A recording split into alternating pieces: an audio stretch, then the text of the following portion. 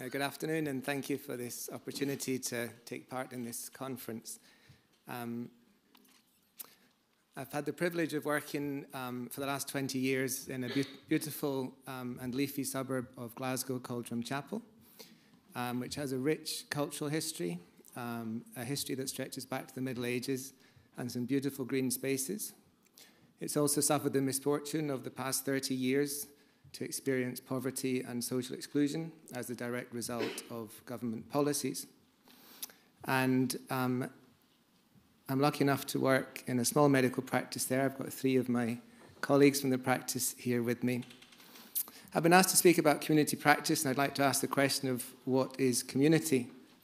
For the NHS, the definition is very clear community is not hospital.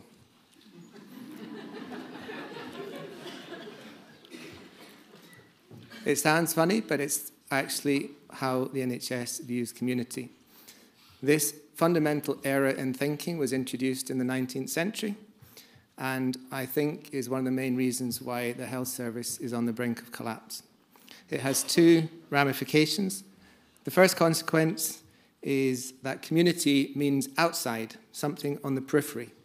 I refer patients to outpatient clinics um, as opposed to inpatients. Uh, respiratory uh, clinics have respiratory outreach nurses, somewhere out there. So community is somehow outside, it's peripheral, it's marginal to the core business of the National Health Service.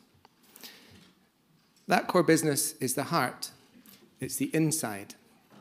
Uh, we admit patients to hospital as if to some hallowed sanctuary, some holy centre despite the fact that people with rheumatological conditions, respiratory conditions, cardiovascular conditions, and almost any medical condition you can stretch your imagination to think of spend 99.9% of their lives outside of hospital. Those specialists who provide their care are on the inside, and we're in the community, we're outside. I'd like you to think, I'd like to come back to that question at my end of my little talk. Um, but I wonder if you could think for yourself what does community actually mean? This is the reason I became a GP. Um, and if you ask me, um, I'd probably be a bit shy to say it because it's got lots of um, rather abstract terms, but it's actually the thing that makes me tick. I was delighted to have seen it in the previous slide and feel very smug that I included the whole quote.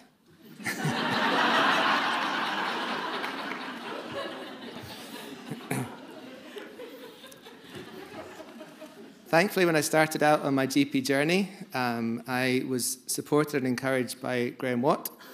Um, and I was able to take these ideas, which I'd, uh, I'd never heard of dual intuited heart. I'd come across these ideas as a student um, in Latin America.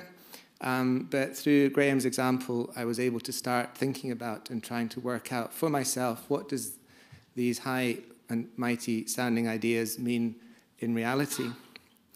One of the most memorable days in my life was about four or five years ago um, when we had an afternoon with my colleagues in the practice and we asked what kind of GP practice would we like to be. We'd never had that conversation before after years of working together. And Andrew Lyon, who's known to some of you, came and helped us to think about Third Horizon, imagining your future, because you're the ones that make it. And to my astonishment and genuine um, wonder, I discovered that the people I'd been working side by side with for all these years, actually the thing that made them tick was the declaration of Alma Ata as well. We didn't use those words, we didn't refer to it, because those words are not personal, they're not beautiful, they're not deeply felt in the way that we talked about it that afternoon. But uh, those things that made me tick also made my GP colleagues tick. We didn't get the memo from Professor Mercer. This is all pie in the sky. so this is what the University of Drumchapel has come up with as a declaration of Alma Ata for us in Drumchapel. And I'd just like to spend the next few minutes just talking through the four ways in which we've tried to operationalize that abstract declaration of Alma Ata. And we've never even mentioned it once to each other. I think it's the first time I've probably mentioned it to my colleagues. I'd just like to point out the flag, Garscadden Burn Medical Practice. Garscadden um, to the uninitiated eyes, is a dribble of filthy water full of shopping trolleys. but to those with eyes to see, it is an absolutely beautiful nature reserve which has protected status as a site of scientific interest and is in fact the little river that created the valley in which Drumchapel sits. And it's to be found on medieval maps um, of that area. And so we're proud to call ourselves after one of Drumchapel's most beautiful features. I'm going to start with core standards. What do core standards mean? Uh, Graham talked about Julian um, and Mary and how um, they became very organized for being able to systematically offer services.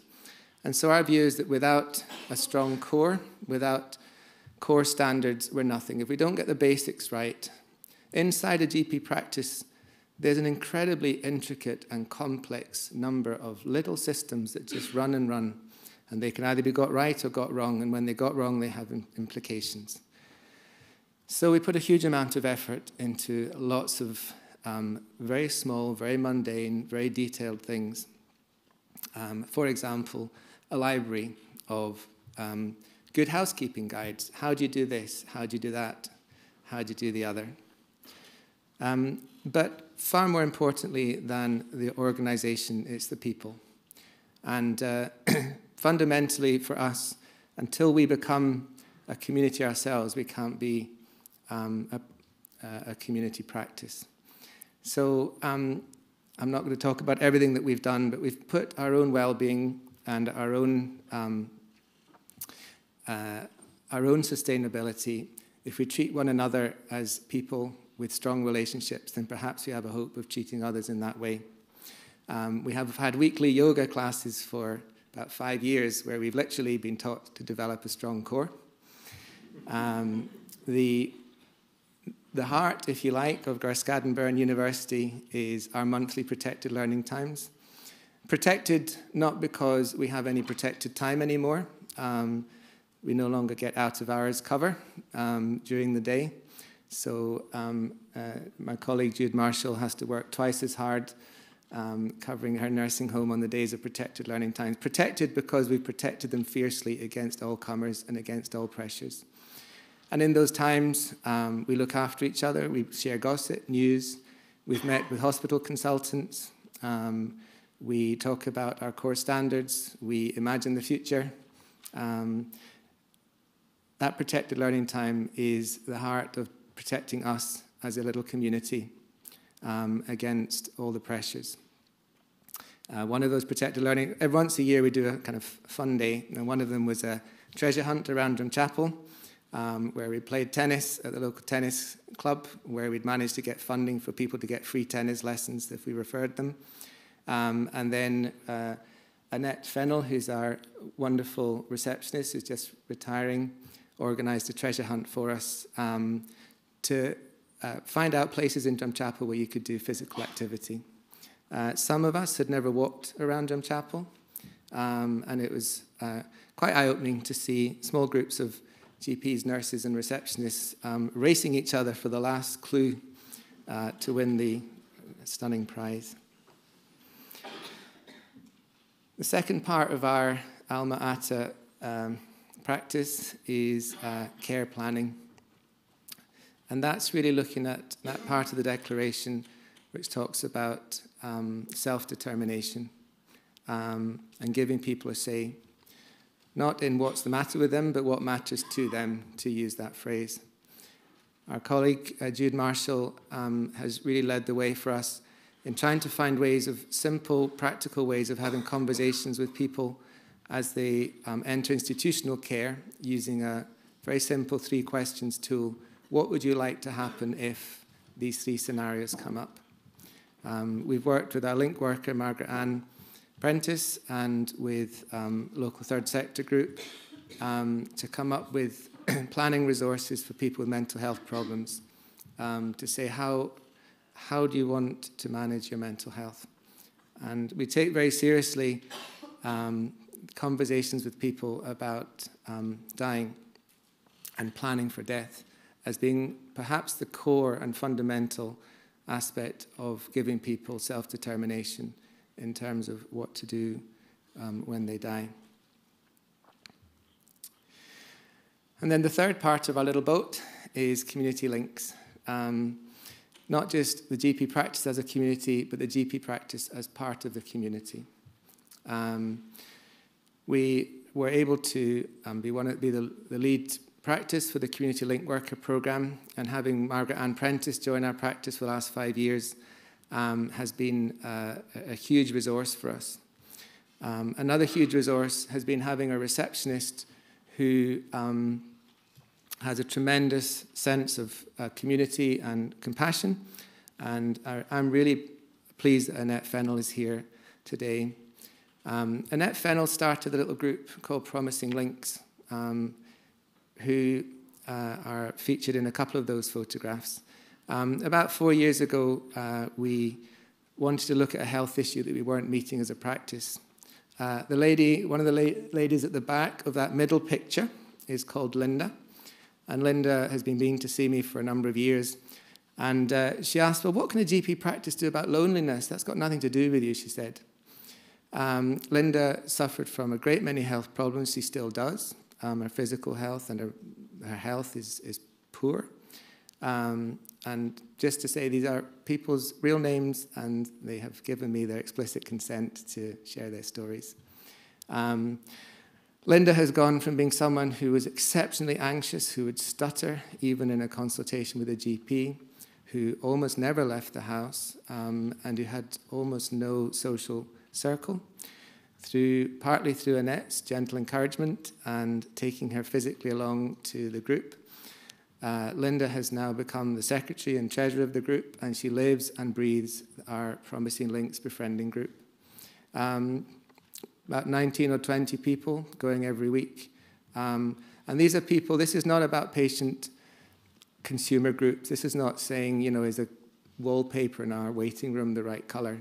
This is about saying, what can you do to improve your health and your situation, and how can we support you to do it? And it's cost virtually nothing. It's cost some time from one of our receptionists and from our link worker. Uh, the group now is a standalone community group constituted. They access small grants to allow them to go and visit the Kelpies and have Christmas parties and things like that. Uh, Chance to Change is another little group which our practice nurses started. It's been running for about two years. Um, this is for people who have cardiovascular risk factors. Um, she was fed up time year after year saying to people, you need to eat differently, you need to stop drinking, you need to exercise. So she started a group to actually help people do this, um, joining up with the cycling group, with uh, stress reduction um, charity, uh, with a cookery class.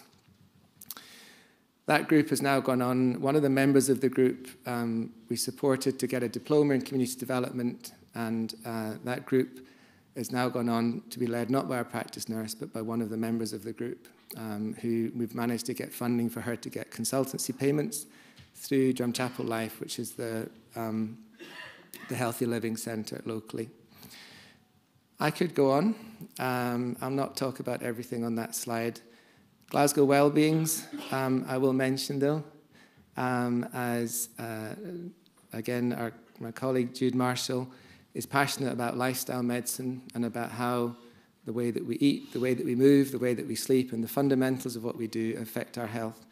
And she's taken the practical step with another GP in Glasgow of setting up an online group who meet uh, regularly um, to explore and develop the idea of how that could be incorporated into our life. So all of these are small scale. This is nothing earth shattering. Um, and at the same time, the practice in its conception of itself sees itself as a community of people, as a place where we try and help people plan and have a say in what they want to happen to them and also as people who belong to a community through our workplace and who do what we can to contribute to that community. But the core of what we do is clinical care. We're primarily a medical practice. Um, by hook and by crook, um, we've managed slowly to increase the number of doctor sessions that we can offer to patients. Um, we know a lot of crooks. I run the drug clinics, so Um, we haven't had to access their assistance yet, but we would do what it takes, given that the Scottish Government and local NHS have no interest in increasing sessions um, in deprived areas. So we've had to develop um, a business sense to do it ourselves. Our last um, great bit of decision making was having my colleague Dr. John Daly join us as an extra half time GP, bringing our practice list per whole time equivalent down to about 1,000 patients per whole time equivalent GP. So, John and Mary have given me their permission to talk about their story um, because ultimately it's about people and it's about the clinical care that we offer. I've known John for about 15 years. Um, he has a background of heroin addiction, relationship breakup, um, lost access to his child many years ago. For about five years, John couldn't walk. He had a hemiparesis, like, like a stroke, down one side of his body. Um, put through every neurological test, there is nothing wrong with him. He was diagnosed as having a functional neurological problem. He had severe depression uh, for many years, developed chronic obstructive pulmonary disease.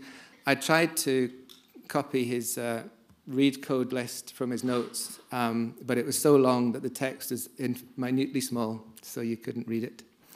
Um, about two or three years ago, he, he, I noticed a little spot next to his eye, and he had a, a squamous cell cancer removed from his face, um, which has left a scar, but which thankfully was removed entirely. And then about just over a year ago, um, I noticed that he was quite hoarse, and he said, yes, he'd been hoarse for about two months, but didn't want to say anything because his uncle had died of throat cancer, so if he said something, he might find out he had that himself, which is what he did have. So he had his larynx removed. Um, he uh, had a very difficult time in hospital. He was labeled as being non compliant with the advice that he was given. And after his larynx was removed, he was in and out of hospital for about nine months with chest infections, aspiration mucus, um, bleeding, um, every kind of complication. And then, uh, if you see the, the second letter down, um, he was admitted in September of last year, uh, September, October, after injecting heroin to end his life. Um, he was seen by a liaison psychiatrist who um, asked him whether he regretted doing it. Uh, and as he said he did, he lobbed him out and said no need for any psychiatric follow up. But perhaps he might want to get some primary care services. So um, I had a long chat with John and his mother. And we talked about um, the fact that he was now disabled. Potentially being disabled was uh, better in society's eyes than being a, a heroin addict. So, in some respects, his life had got better. Um, and we also talked about focusing on what he can do and not on what he can't do. And uh, I made some uh, worthy suggestions of things that he might be able to do. He came back to see me a couple of weeks later and he was full of excitement. He said, You know that talk you had about what I can do? Well, I've started doing something. I've taken up rollerblading.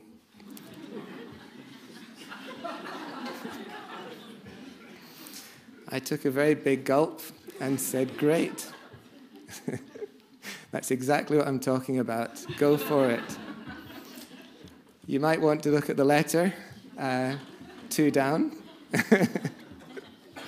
so, between um, taking up rollerblading and being admitted with a right intertrochanteric fracture at the rollerblading, um, he wasn't admitted once to hospital for chest infection. He absolutely glowed with energy and vitality. He'd made loads of friends. He was quite a celebrity as the only person at the rollerblading with a tracheostomy. and uh, so I phoned him because uh, he's not able to get down to the surgery um, in the new year and said, uh, How are you getting on? Somewhat worried that I was going to get sued for encouraging my patient to, to break his own hip. Um, and he said, I'm doing fantastic. I've never felt better. I can't wait to get back rollerblading. he's even going and sitting at the side of the rink so that people come and talk to him because he's very popular. Mary, his mother, um, has a ton of health problems herself. And do you know what? Mary looks after John, and John looks after Mary. And the reason I tell this story is not really because it makes a point, but precisely because it doesn't make a point. Because John and Mary's health is just a story of being scared, of being heroic, um, of being brave, of looking after one another, perhaps of making mistakes, taking risks, um, of interdependence with one another, and of relationships. And fundamentally, that's what clinical care is. When my partners and I talk to each other now about cases and about patients, primarily what we talk about are things like raising children and what do you do with babies when they vomit or when children run around too much and make life difficult. Eating and drinking, moving and being active, elderly uh, moving and being active, young people moving and being active, avoiding noxious substances, of which there are many on offer in Drumchapel, belonging and connecting, uh, like Linda, uh, recovering from traumatic events, including sickness and illness, coping with worry, sadness, bereavement, poverty, adapting, finding purpose, adjusting to old, old age. Old age is fantastic for many people. I don't know many people for whom old, old age is not a misery. For some people, old, old age is quite a short period of time. For others, it's a very long period of time. But it's almost universally a miserable experience, and I think. And I think helping people to understand the difference between old age and old, old age, and helping people to prepare for it and to still find dignity and meaning within it is a core function which I think we've lost. And of course, preparing for dying. Now, behind all the medical technology, the diagnoses and the labels and the read codes, these are all fantastic technologies that help us to achieve these goals. Um, without good COPD uh, pharmacology, um, then it is much harder to adapt to COPD. But the most powerful technology that we've evolved as human beings to deal with health and to create health is community. It's because of community that we survived as a species it's because of community that we can thrive and live. So I want us to come and see community not as something on the outside, something on the margins, something that's not hospital. Community is the very core of health. There is no health without community. Um, when the Declaration of Alma Ata talks about primary health care, it doesn't mean primary care the way it's used in the NHS. It doesn't mean the bottom of a heap of importance. Primary healthcare means the primary function of the healthcare system. Okay, so my view of what the future will be um, 100 years after Alma Ata in 2078 is of primary healthcare not by GPs, but by orthopedic surgeons and neurosurgeons and um, nurses and GPs and all kinds of people we haven't even dreamed up yet for whom being part of the community, both treating themselves as community, contributing to community, and having relationships with people who are self reliant and who determine their own health, that is what primary health care will be. I think that general practice now has the potential, the exceptional potential, to use the buzz phrase, to begin to make that a reality in the present, not in 2078. Um, and I actually think what I discovered in my GP partners made them tick was the same as what makes me tick. And actually, to be honest, every GP and everybody in this room really, if it boils down to it, is what makes us tick. And I think it is possible for us to, even in very small ways, even in very imperfect and frustrating ways, to actually make these things a reality now. And so I'm really grateful that you've given me the opportunity to share some of our experience at Garscadden Burn with you. Thank you.